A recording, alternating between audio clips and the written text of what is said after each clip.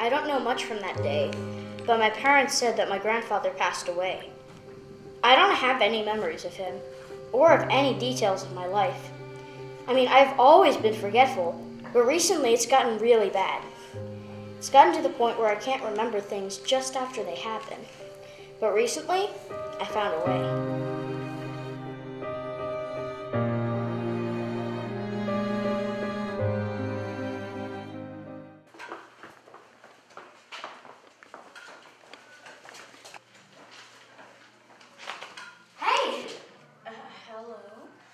Uh, what, what's wrong, dude?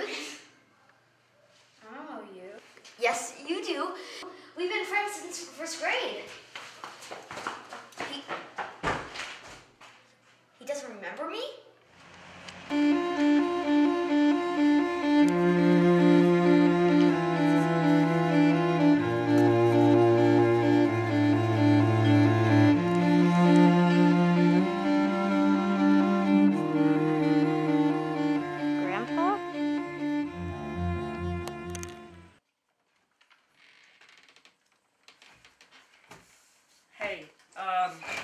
You got a letter, but I don't, I don't know who it's from. Okay, give it to me.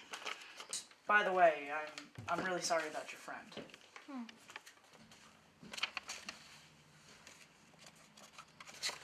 To my friend, I remember you.